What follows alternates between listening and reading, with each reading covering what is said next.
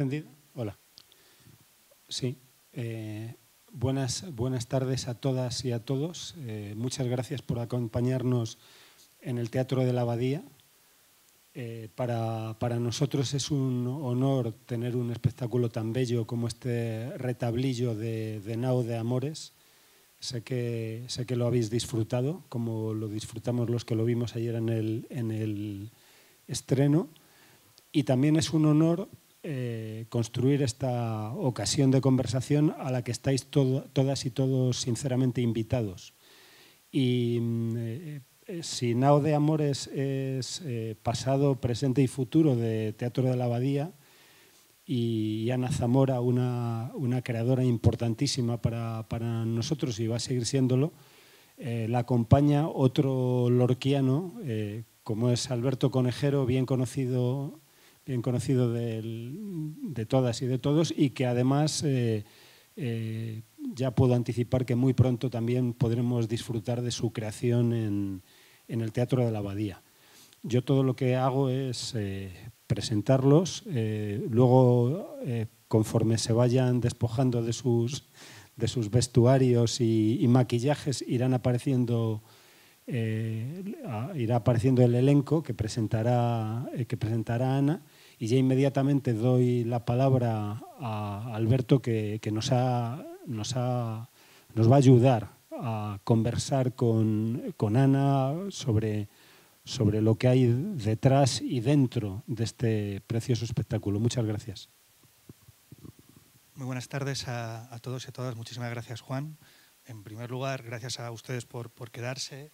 Eh, enhorabuena, Ana, por, el espectáculo. No pude estar ayer, lo he visto hoy por vez primera y estoy felicísimo de haber visto vuestro retablillo. Para mí es una tarde muy especial porque se suman muchas pasiones, mucha gente estimada, admirada. Bueno, Ana y yo nos conocemos hace ya algunos años, de, estudiamos juntos la misma promoción de la Escuela de Arte Dramático. Está entrando Verónica, Débora. Son los actores, vamos a darles otro aplauso, que se lo merecen. Eduardo y Verónica, ¿qué tal? Qué gusto veros. Qué emoción. Estaba dándole enhorabuena por el espectáculo, recordando cuando conocí a, Ana, ya hace en el 96. Han pasado ya algunos, algunos años. Bueno, es, eh, como digo, un privilegio poder dar un poco las cartas en esta conversación, porque yo creo que lo fundamental es escucharos a, a vosotros y descubrir todo lo que hay detrás de este espectáculo. Para mí, como ha dicho Juan, que soy un lorquiano declarado y militante, eh, es un placer volver a ver este retablillo. Cada vez que te asomas a él, descubres algo nuevo. Además, es un texto que acompañó a Federico en distintas formas, eh, desde su primer teatro hasta el final de, sus días. Y siempre que tienes la ocasión, gracias a los hombres y mujeres de muchas épocas, ahora Nauda Amores toma ese relevo maravilloso de ver el espectáculo, descubres un pliegue más. Porque tras la aparente sencillez de esta dramaturgia, que lógicamente bebe de todas las fuentes populares, se esconden muchas de las obsesiones de García Lorca. De, su teatro, digamos, por ejemplo, hoy he descubierto algo, no he descubierto, me he dado cuenta. De repente ese currito que llega después de mucho tiempo a ver a la novia, dice, son cinco años, ¿no? Y he pensado, claro, como el jugador de rugby, de así que pasen cinco años. Y como de repente la novia con el jugador de rugby, ¿no? que le está siendo infiel a ese trasunto de repente del viejo joven que es Cristovita, ¿no? y de repente es el diálogo con un texto aparentemente alejado como es Así que pasen cinco, cinco años.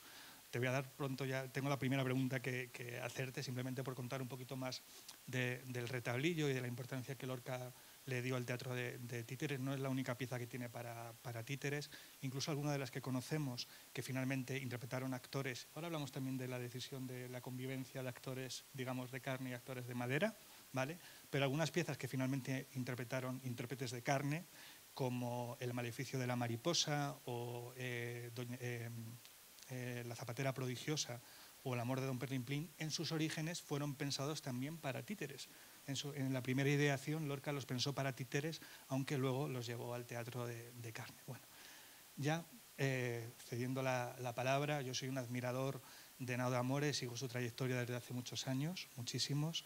Cada eh, obra que levantáis es para mí un hallazgo luminoso, una lección de teatro, un ejemplo de vocación, de persistencia, de cómo combinar el rigor con la pasión, lo que es el fundamento filosófico, documental, de fuentes, todo el trabajo que hay detrás documental y a la vez la pasión teatral. Por eso me emociona estar sentado hoy aquí con, con, vosotros. Claro, no es la primera vez que trabajáis, digamos, con muñecos, si se me permite la... ¿no? Tú corrígeme, Ana, porque me vas a tener que corregir muchas veces, ¿no? no, por Dios, desde, bueno, desde el misterio del Cristo, pero también en Nice participaban, si no lo recuerdo mal, digo por hablar de una de las más recientes, tú has trabajado anteriormente con, muñecos. Pero ¿cómo nace el deseo de Nao de Amores? Porque, eh, y a mí me, parece muy interesante esta exploración más excéntrica, digamos, de lo que es vuestro corpus central, que como todos ustedes saben es el teatro medieval y renacentista. ¿De dónde nace el deseo de Nao de Amores y de Ana Zamora de asomarse al universo del retablillo lorquiano. Hola, buenas tardes. Gracias a todos por, quedarse aquí esta tarde. Gracias Juan, gracias Alberto. Es, muy bonito lo que, lo que estaba diciendo Alberto. Nos conocemos desde el, desde el 96. Éramos compañeros de clase. Él hacía dramaturgia, yo dirección, y él era el más joven de la promoción, era un niño, y, era con pelo, y era un fanático de Lorca en el año 96 ya, o sea, es una, cosa, y Juan fue profesor mío también, o sea, que estamos aquí como, como en el retorno al pasado, y el retorno al pasado tiene un poco que ver con esta pregunta que, decía Alberto para iniciar para iniciar este, este coloquio, en el que tampoco queremos enrollarnos mucho para que ustedes puedan participar. Em, los orígenes de, de Naudamores tienen mucho que ver con el teatro de títeres, aunque nunca hayamos sido una compañía de títeres. ¿Por qué? Pues porque es una compañía segoviana y, como ustedes sabrán, y si no lo saben, tienen que saber que el festival de títeres más importante de este país es Titirimundi, que es un festival que lleva ya un montón de años en, aquella ciudad, que fundó una persona absolutamente especial, que era Julio Michel, que, que, es a quien va dirigido este espectáculo, a quien va dedicado este espectáculo, que es la persona mm, que dignificó las artes de la marioneta de alguna manera en, este país. ¿no? Y, eso está en la base de lo que Nauda Amores ha hecho siempre.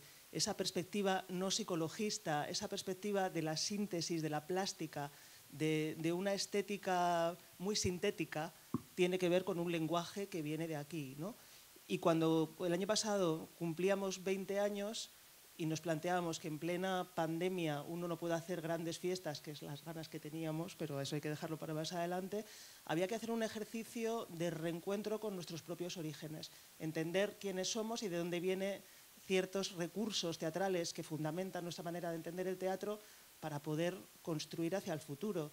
Eso supone siempre un riesgo y trabajar sobre una obra que se escapa de la línea de especialización que llevas haciendo durante muchos años, pues es un riesgo. Uno se expone y, tiene algo de experimento, de prueba y de salto al vacío. Y es lo que era este, este espectáculo. Yo eh, obtuve una, beca en la, Academia de España en Roma, la, segunda beca, con la primera hicimos a Comedia Aquilana con el clásico, que seguramente alguno de ustedes vieron, eh, y la segunda era una beca para ir a estudiar las relaciones de los títeres italianos con los títeres españoles en el fondo ya, yo ya sabía que era esa base para construir este espectáculo que, luego presentaríamos. Eh, y eso sí que fue el reencuentro con, los orígenes de por qué uno se dedica al teatro.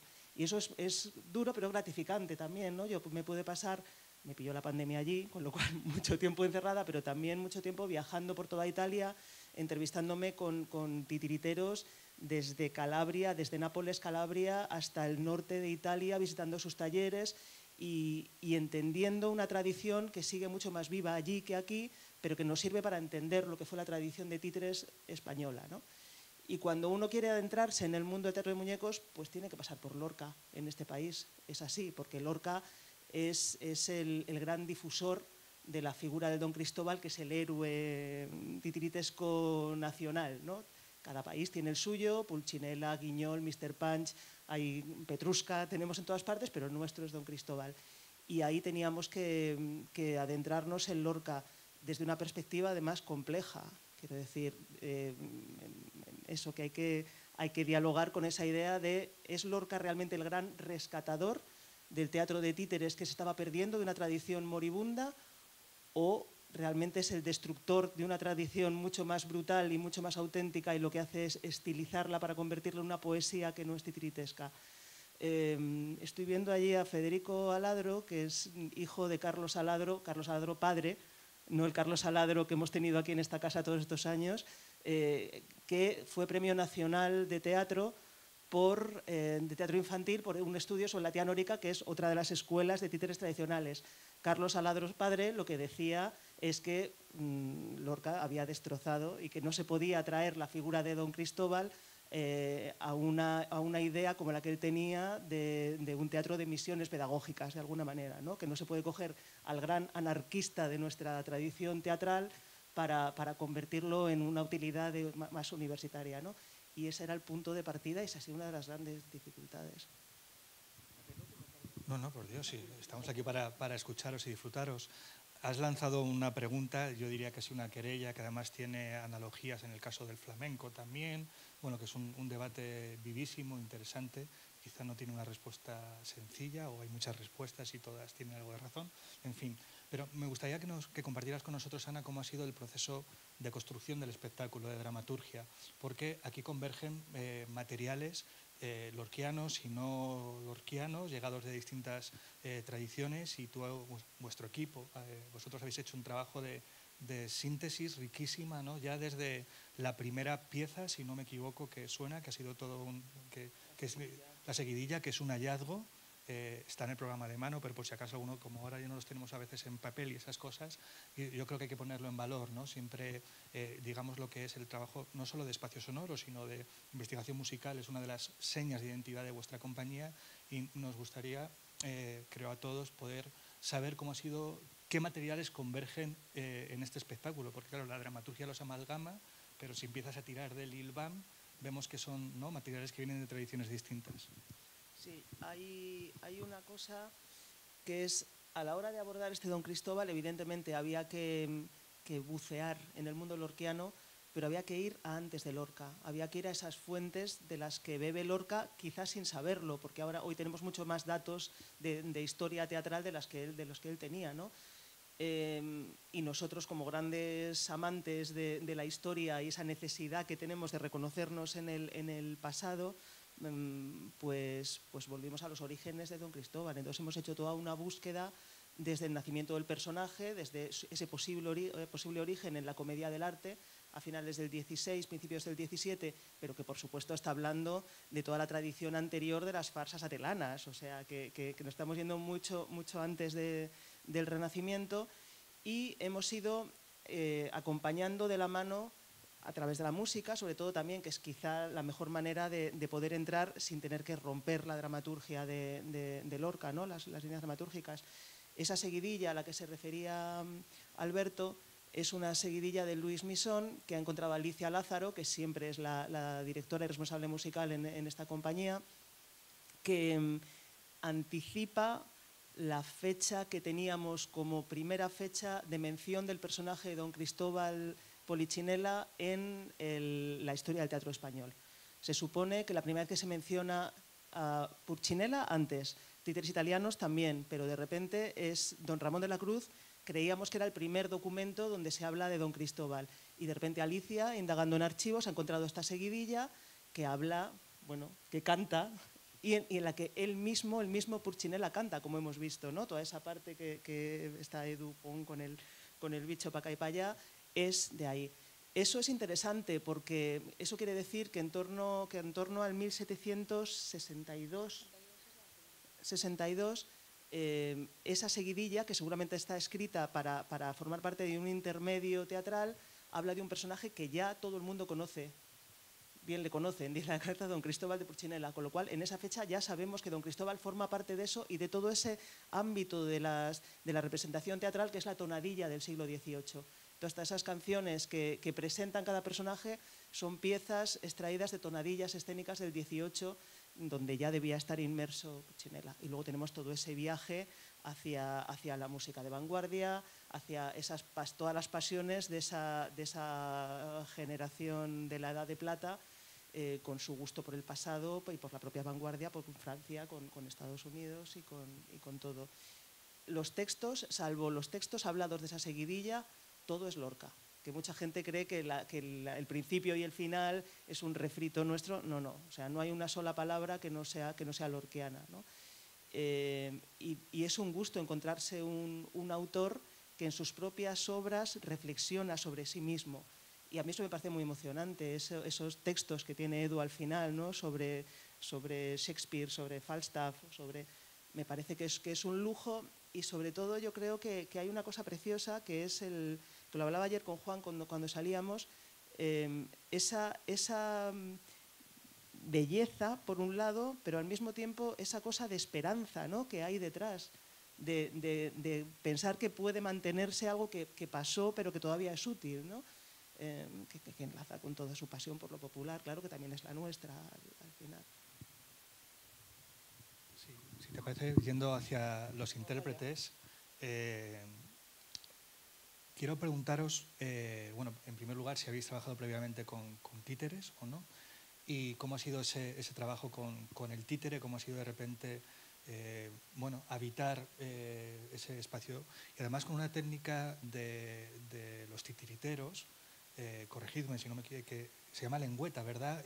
hay una opción muy, muy poderosa y muy firme y muy significante, que es que Cristovita nos hable en lengüeta que es esta voz, digamos, eh, que nos recuerda en parte también al, al pito gaditano, ¿no? y hay toda una tradición parateatral donde de repente la voz humana se, eh, se, distorsiona y es maravilloso ver las raíces hondas que tiene ese tratamiento, precisamente como fuga del realismo y además como una, bueno, una digamos, eh, llevar hasta el límite la, la, relación entre lo humano y lo no humano, ¿no? también desde la propia voz. ¿Cómo ha sido para vosotros trabajar, habitar este mundo? De muñecos, si era la primera vez que trabajabais con muñecos o no, la técnica de la lengüeta y además, eh, porque sois una suerte de ñaque. Bueno, el bululú y el ñaque, y el tercero cómo era, porque Alicia está muy, muy presente también, sois tres. Dios mío, se me ha ido, era el bululú, el ñaque, y era la gangarilla los de tres. Si hay alguien experto, bueno, eh, creo que es gangarilla, que era el bululú, el ñaque, la gangarilla. Bueno, da igual, no es un examen. Bueno, pues es una, eh, realmente sois tres intérpretes en escena que os multiplicáis ¿no? en todos los personajes, además a cuerpo, a cuerpo descubierto, y es una opción también... Eh, bueno, ¿cómo ha sido ese trabajo? Pues, eh, pues un reto mayúsculo. Yo no, no, había tenido contacto con un títere nunca, más allá de lo que... Yo recuerdo que una prima mía tenía unos, como unos títeres de guante con los que jugábamos en casa y ese, era mi, ese ha sido todo mi contacto además, al no vivir en Segovia, o no tener tan cerca esa tradición, pues em, tampoco había tenido mucho contacto. Para mí, la verdad es que ha sido un, descubrimiento absoluto. Em, yo recuerdo viendo a David Faraco, que ha sido el que nos ha asesorado y nos ha acompañado, además de Ana, en todo este viaje. Yo me descubría viendo a los títeres como un absoluto niño otra vez, o sea, pero además, ¿cómo es posible? Yo ¿cómo es posible que, que le he visto hacer el gag cuatro veces seguidas y lo sigo viendo y me río igual que la primera. O sea, hay algo que te transporta a un lugar de pureza eh, que no sé, a mí me resulta difícil de explicar y que ha sido un, gran descubrimiento. Y luego encarnarlo, pues un reto mayúsculo, porque claro, había que descubrir toda una técnica desde cero y una técnica para la que, a la que la gente dedica su vida entera. Eh, al manejo de la lengüeta, al manejo del títere y había que empezar de cero y además mm, una propuesta que no es exclusivamente de manipulación dentro del teatrito, sino que luego había que salir y había que bailar y había que hacer muchas cosas y cantar y, la lengüeta, pues la lengüeta también, pues otra aventura, porque es un artilugio, em, no vamos a desvelar mucho, ¿no? No podemos... No se puede enseñar. Es como el, el truco de los magos. Eh, no se puede revelar. Eh, pero, es muy complicado, ¿eh? Eso sí lo podemos decir. Sí, sí. es muy complicado y, nada, pues yo me acuerdo que los primeros días estuve unos cuantos días hasta que logré sacarle un sonido. Y luego a partir de ahí pues me puse como si fuera con mi propia voz. O sea, recuerdo hacer una tabla de consonantes, de vocales y empezar casi como si tuviera que aprender a hablar otra vez con ese artilugio eh, situado en la boca. Entonces, añadido a las coreografías, a tocar la guitarra, a la manipulación, pues estas de esas cosas que solo se pueden sacar adelante como trabaja Nao, mm, que es yéndose a Segovia a un retiro prácticamente absoluto, porque, claro, o sea, casi todo el tiempo de fuera del ensayo había que dedicarlo a estas cosas porque si no, no habría habido lugar, no, no habría sido posible pero también la recompensa es enorme, claro, o sea, tener la, la satisfacción de poderme acercar, porque yo me conformo con acercarme a, a, lo que es y a lo que significa el mundo del títere, es muy gratificante. O sea, yo me acuerdo de esos primeros días viendo a David manejándolo, si en algún momento a alguien le pasa algo mínimamente parecido, yo me, me doy con un canto. No sé vos. Eh, sí, bueno, yo tampoco había trabajado nunca con títeres. Recuerdo tener tres cerditos, una Blancanieves y un príncipe de pequeña. Y desde entonces, que no sé dónde fueron a parar a todo esto, pero desde entonces no.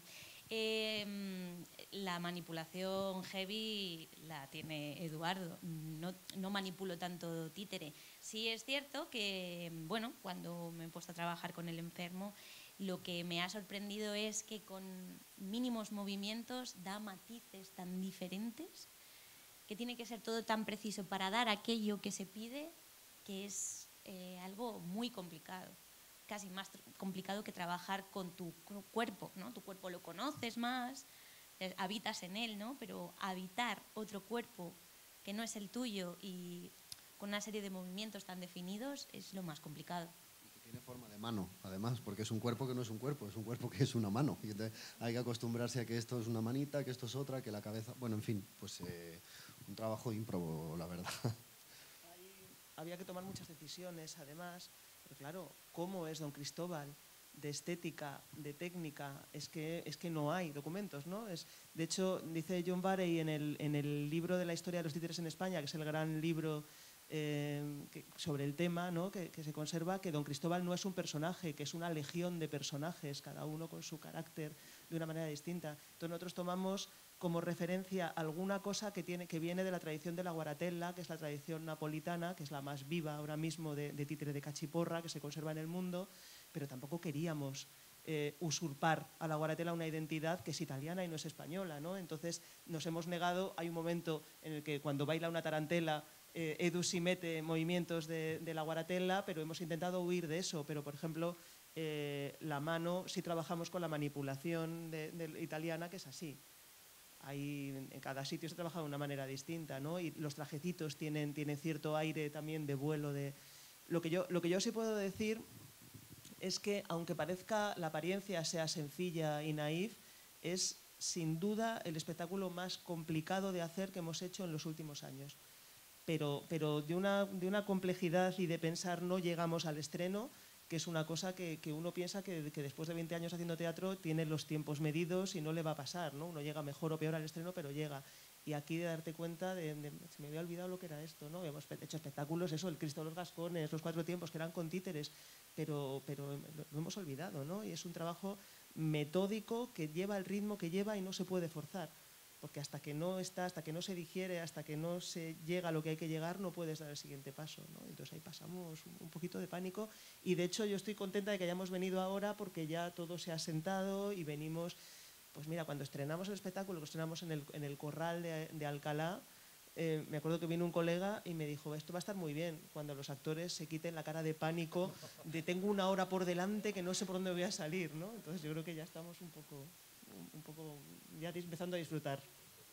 Pues os lanzo una última pregunta antes de, dar el turno de, palabra a, los espectadores que nos acompañan, porque estoy seguro que tendrán mil, preguntas que, haceros. Es precisamente, y está aquí Débora también. No, pues, eh, perdón.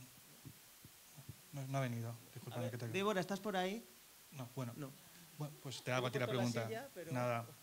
Ah, quería preguntarte por la confección del títer en sí si habéis seguido algún tipo de modelo, ¿no? si tenéis el, ejemplo de Hermenegildo Lanz, ¿no? Digo, eh, las, las, fuentes históricas del títere, eh, ¿cómo ha sido la confección del títere? ¿Qué decisiones han tomado de cara a la propia confección del títere? Porque creo que, claro, a, mí me dan ganas de, de, poder luego tocarlos, verlos más de, de cerquita, ¿no? Me pedían mayor bueno, ganas de saber más de cómo ha sido la confección del títere.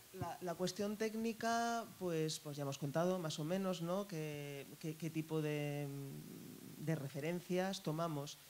Em, son bastante más grandes que los que, los, que Lorca utilizó en, en, aquella representación histórica de 1921 o 22, 22, que además si miran su Instagram van a ver a Alberto Conejero, una foto que ha colgado antes de venir que tiene, eh, que tiene uno de esos títeres en la mano y son mucho más chiquitines, con lo cual más fáciles de mover. Pero claro, si uno quiere actuar, no nos olvidemos que, que nosotros comemos de hacer bolos al final, y entonces tenemos que ir por los teatros. Y, y en un teatro en la, ese tamaño no se ve en la quinta fila, ¿no? entonces no queda más remedio que ampliar y empezar a modificar materiales. No están tallados en madera, parece madera, pero no está tallado en madera, es una especie de resina al mismo tiempo. Eh, y luego, claro, hay que hacer un trabajo de creación de personaje que normalmente harías con el actor y con los artistas plásticos, pero aquí hay que hacerlo mucho antes de empezar a trabajar, hay que construirlo. Y de hecho, el espectáculo se empezó a montar mucho antes de que llegaran las cabezas, ¿verdad? Teníamos unas, unas bolas de poliespan terroríficas y, y ahí estábamos luchando con eso, que eso pasa un poco siempre con, los, con el teatro de títeres cuando intentamos trabajar con los tiempos del teatro, del teatro de personas. Nosotros sabemos que en, que en 45 días, dos meses hay que levantar un espectáculo. Un espectáculo de títeres se tarda mucho más, se construye el títere. De hecho, muchas veces la dramaturgia empieza cuando, cuando se ponen a jugar con los muñecos. Nosotros trabajamos al revés, tienes la dramaturgia y luego trabajas con los actores. Entonces, eso, eso también dificulta y hay que tener mucha confianza en que cuando llegue el títere pues, pues vas a poder eh, darle un giro a toda esa estructura que estás construyendo, ¿no? pero no puedes esperar, claro. Todo, la fecha de estreno no, no perdona nunca. Es, es, apasionante, de luego, qué bien que existáis, qué bien que continuéis con un legado, con una tradición que requiere de maceración, de tiempo, de estudio, de artesanía, de devoción por un legado, por una herencia que hombres y mujeres a lo largo ya de los siglos y, bueno, te, cada época adaptando esa tradición ha, pasado a la siguiente porque la ha creído valiosa e importante. Yo creo que todos hoy hemos comprendido lo valioso de este pequeño gran teatro, como todos esos diminutivos que de repente el, el lenguaje despliega, ¿no? también el, el lenguaje se hace tierno, se achica, se hace niño y sin embargo cuánta emoción, cuánta verdad, qué, fiel Federico a sus obsesiones una y otra vez. Y este texto le acompañó, como ha dicho Ana, desde el 22 hasta el final de sus días, porque cuando estuvo en una tournée triunfal en Argentina en el 34, se llevó los muñecos que hizo con Fontanals, hizo una función ahí y formó a titiriteros argentinos, también monarenses, para que siguiera la tradición eh, allí. Es decir, que fue una, en ese debate que hay sobre, digamos, la apropiación de de lo popular o el secuestro o la domesticación de, un personaje radicalmente salvaje, sátiro, eh, anarquista y peligroso y maravilloso como es eh, Cristóbal. Y sin embargo uno pudiera decir que bien que al menos haya hombres y mujeres, menos mal que a lo largo de, de, los, de los, siglos han mantenido esto. Ojalá eh, giréis muchísimo, que estoy convencido que sea así, que os vean muchas gentes, porque este es el espíritu y yo creo que la llamada de Cristovita, encontrarse con, con el pueblo, qué emoción tan honda de repente cuando dice el poeta, cuando, sea, cuando yo sea viejito y pensar que Federico nunca fue viejito, ¿no? todo lo premonitorio que tiene, bueno, en fin, que no me quiero, en fin, de verdad ha sido un verdadero placer conversar con, con vosotros, saber más. Me apasiona que de repente hayáis jugado con títeres eh, decapita no decapitados, pero con cabeza de poliespan, y cómo de repente, y, no, o, lo, la adecuación del muñeco a los usos eh, escénicos actuales, porque a veces se nos olvida la parte pragmática de los espectáculos, y yo creo que es hermoso para el público conocer de repente cómo tenemos que agrandar el títere, porque queremos, bueno, porque los espacios teatrales son los que tenemos hoy en día. Es un espectáculo conmovedor, se aprecia la dificultad se aprecia que hay algo, sí, en el, eh, se aprecia todo el trabajo que hay por detrás, sí. Y entonces Juan amablemente me avisa que no me enrolle tanto y que os ceda ya, no, no, por Dios, eh, y que les ceda a ustedes el turno de palabra. Gracias.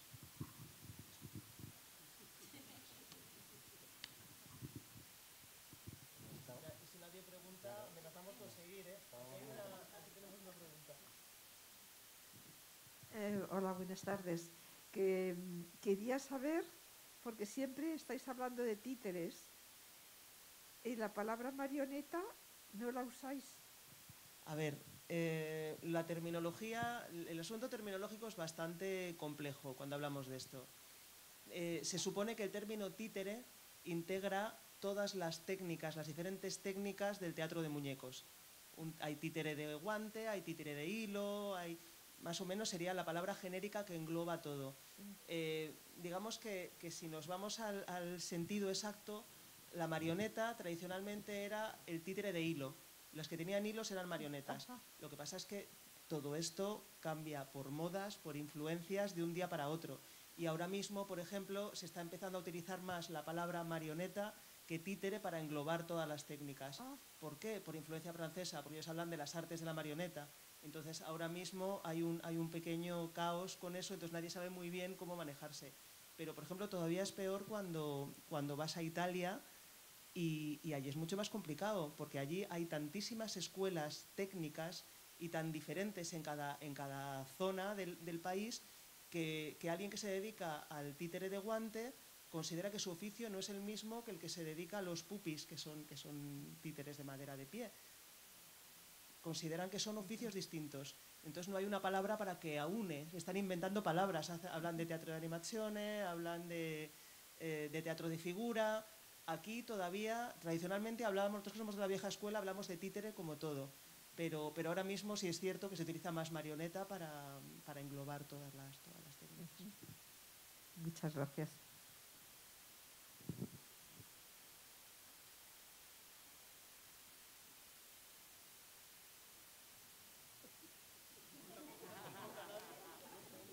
Perdón, perdonad.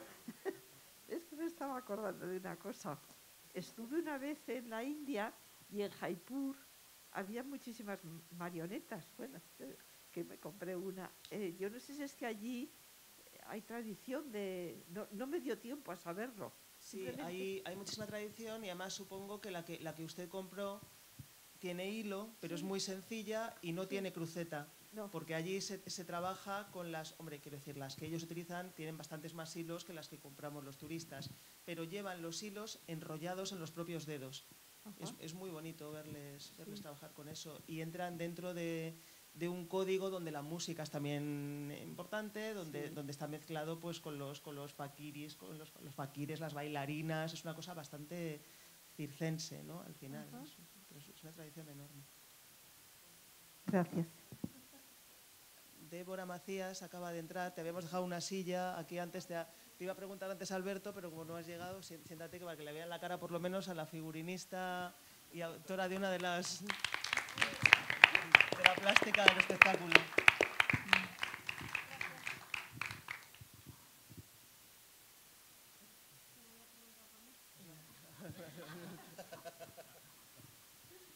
¿Tiene alguna, alguna pregunta más?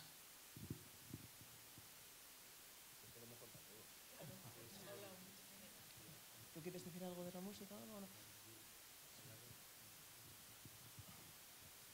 Al lado a lo mejor quiere decir algo, me dice Juan. No, al, lado está muy discreto, ahí atrás. En,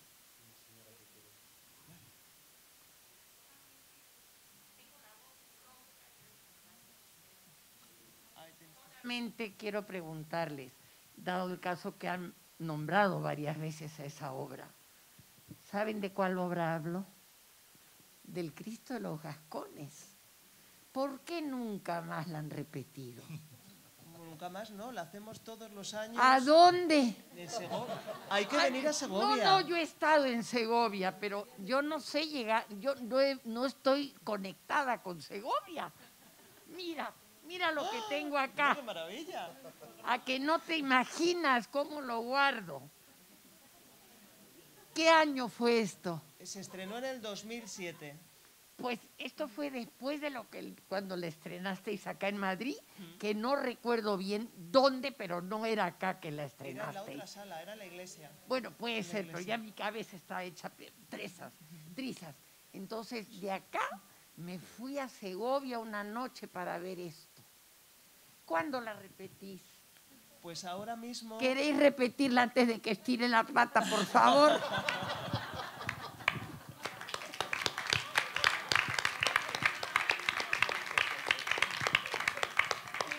Pues, pues ahora mismo no tenemos fecha porque como estamos aquí, además, se nos ha complicado, se nos ha complicado todo. Entonces este año no se ha hecho en Semana Santa, pero se volverá a hacer. Normalmente lo hacíamos el viernes anterior al viernes de Dolores para abrir la Semana Santa de Segovia.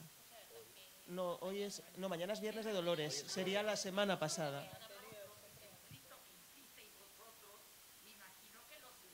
Sí, sí. Mira, ese. Nada, nada, no, ese, de hecho...